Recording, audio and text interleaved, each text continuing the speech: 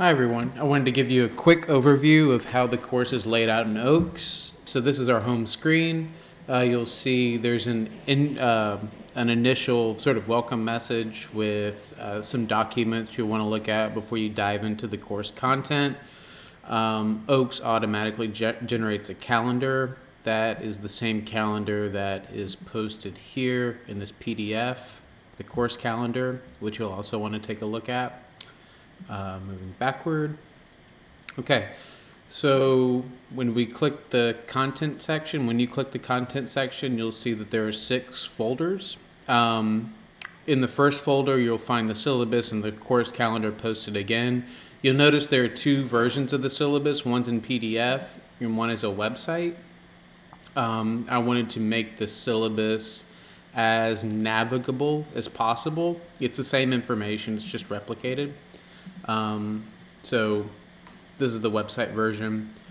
Um, you'll find a little map to me if you need to come see me. And then here are all the sections of the syllabus. Um, so moving backward.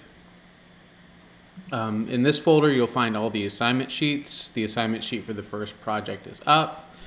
And then what follows in the next four are each of the modules. So our course is split up into four modules.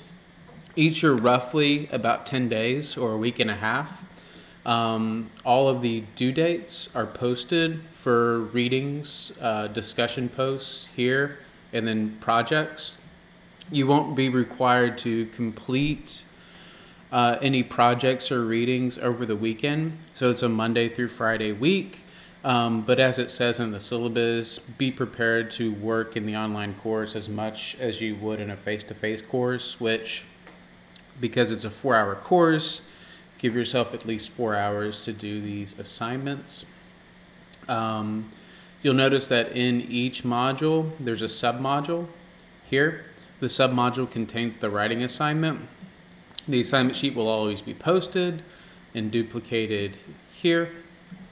And additionally, um, for the first two projects, there will be peer-reviewed workshops. So you'll find the Dropbox for that there, and then you'll find the final submission Dropbox there. Um, okay, thanks, and look